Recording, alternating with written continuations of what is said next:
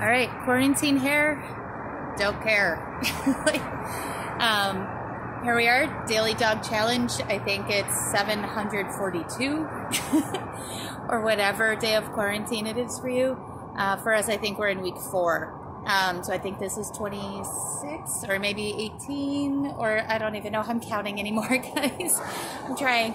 Um, so today I thought we would go over. Um, there's a sport that um, at our dog training club, New England Dog Training uh, uh, .org, um, and we're the oldest AKC obedience club in the country. And there's a sport there called rally. And for those who are not familiar with rally obedience, it's um, taking a bunch of uh, walking patterns and competition obedience footwork and putting it in a course very similar to like an agility course. And it's a timed course. So it's moving obedience. So what I do in my manners classes and for fun and for challenges is to take skills that your dog already knows and kind of line them up, um, taking some. Uh, taking influence from competition obedience and from rally obedience and making it fun for the layperson. And so at the end of every single manners class, uh, at the end of my six week sessions, if you've taken those classes, you know exactly what we're going to do. I want you to write down all the skills that your dog knows and like sit, down, touch, stay, leave it, um, and put those either on an index card or uh, what I've done today is I took my daughter's sidewalk chalk and I made a course throughout our block. And so I'm going to take Captain through. Um, I'm going to show you guys first what this looks like, and then I'm going to take Captain through, and maybe you guys can do something like this too in your neighborhood. Um, I was also inspired by um, my daughter and her friends had all made like little challenges for themselves throughout the neighborhood at each of their houses. So my daughter Ace went through to her friend Maddie's house and Riker and Leo, and they had all done like little chalk mazes for each other. So like leapfrog or hopscotch or uh, balance on a line or um, walk like a dinosaur, run really fast. So they did these things for each other to keep each other sane through this horrible time. Um, and it was really cute and it was so great to watch everybody get happy and go outside. Um, so I thought I would do something like that, combining what I do from a manners class and what we do at New England Dog Training. Um, with my dog Captain here using my daughter's sidewalk chalk, I now have to order her more chalk. Sorry, kiddo, if you ever watch this, mommy's bad. Um, but um, maybe it'll inspire you guys. So let's go through this course and see what it looks like. I don't think I'll be able to record this with Captain, um, but I will be doing this later because it's going to be real. You guys aren't going to be able to see it. Um, if I'm walking with my dog or if I have my seven year old recorded, it's going to be very shaky. So I'm just going to go through what I have here. So I'm coming down my stairs, and the first thing you see is start. Okay. Turn left. Okay. A halt. And a halt is just having your dog sit either on your right or your left in competition obedience. If you're a rally student or a New England dog student, um, make sure you're having your dog sit on the left. Otherwise, just have your dog sit. That's all it's asking for. You stop, your dog sits. So you can work on auto sits a leave it. So you can either have something on the ground for them to leave, or you can um, actually do the, the fist and the hand exercise. I'll put a little link um, to leave it in the video. Uh, any five tricks. So it could be sit down, it could be touch five times in a row, it could be spin, however complicated you want this to be.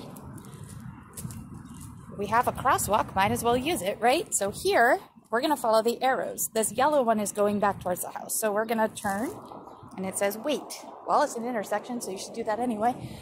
So I don't see anybody coming, so we're going to cross. And again, rally obedience is just following the arrows. This one, tell your dog to sit. One step sit. Okay, sit. You get to the next sign. Two steps sit. One, two. Three steps sit. One, two, three.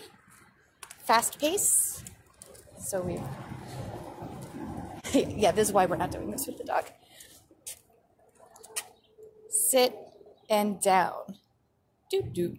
Okay, walk up to the next sign. Any trick. So it could be roll over, it could be spin, it could be sit. Depends on how distracted your dog is. Follow the arrows wait. All right, we're gonna cross this street. There's no crosswalk here. It's a quiet street. My neighbors all think I'm super insane because I'm talking to myself and writing on everybody's sidewalk. 10 tricks for three treats. So count out three treats. We're gonna walk, spin, which I always have going to the right. You could do it however you want. Twirl, I always have going to the left, but again, whatever you, or you could interchange whatever you'd like. A front. This is an obedience term where your dog comes from your side and sits at your front straight as possible.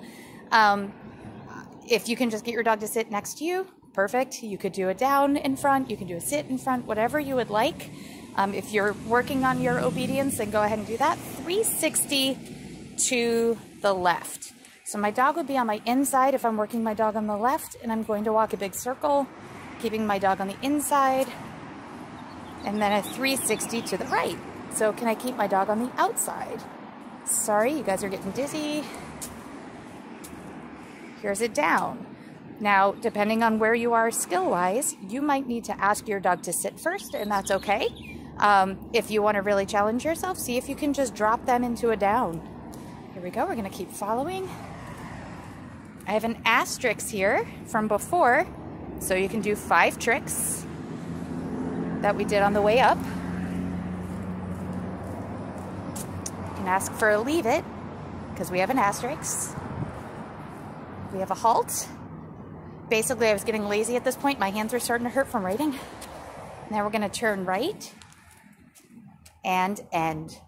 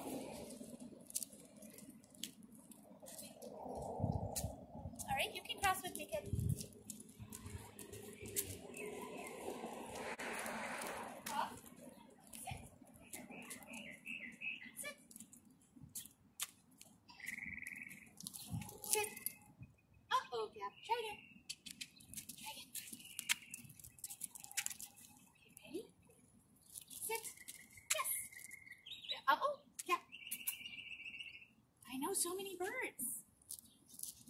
Sit. Captain.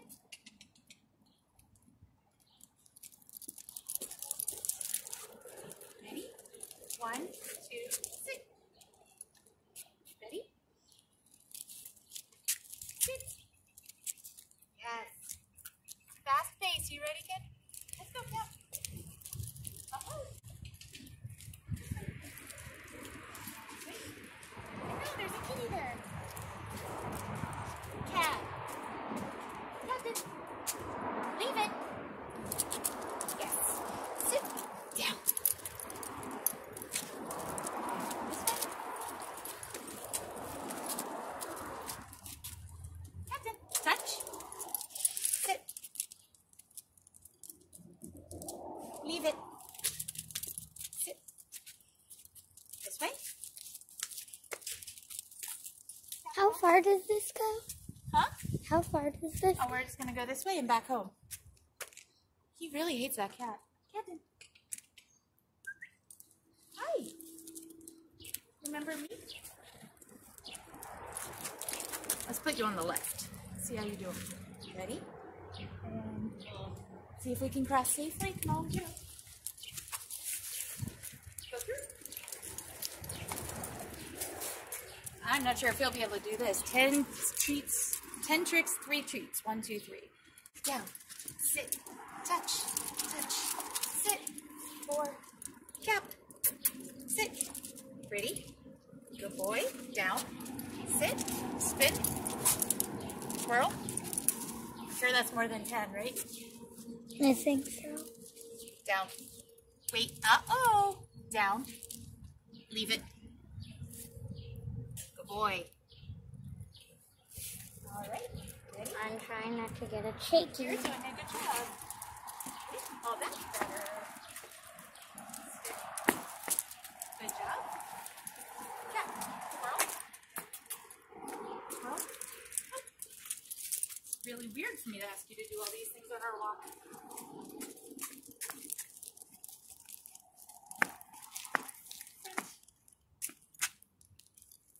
This one's hard. Ready?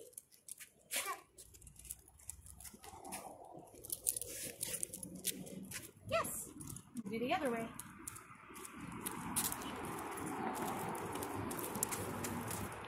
Good boy. Down. Elbow. Wait. Yes. Good boy. Five tricks. Sit. Up. Yes. Ready? No. Down. Sit. Catch. Oh, sorry, buddy. Yeah. And this way. Sit. And do a harder leave it. Uh-oh. Leave it.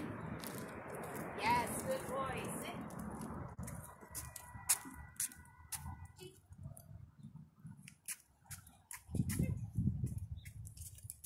He did it! Yay! Bada, bada. Find it. So give it a shot. See what it's like for you guys, um, and report back and let me know how it's going for you. See what kind of tricks you guys can do on your walk. See if you can set up a little um, obstacle course for yourself. If you don't have a sidewalk, if you live somewhere small, or if you have a little apartment or you don't have chop, you can write your things out on index cards and you can tape them down. If you're fortunate enough to have a little backyard, you could use that. Um, you could use your driveway. You can cl- move some furniture around and do it in your kitchen. Um, you don't need a lot of space to do something like this, and it's a good way to drill and practice things without actually having to go outside and or without actually having to go to a class right now. Um, so it's a good way to kind of think outside the box and move your training in a different uh, with movement. Um, again, moving obedience. And I'm not making any sense because I got two hours of sleep last night. I'm really sorry. Um, I think a lot of us are anxious right now. Um, so we're doing the best we can with the tools we have. Let me know how you're doing. Bye.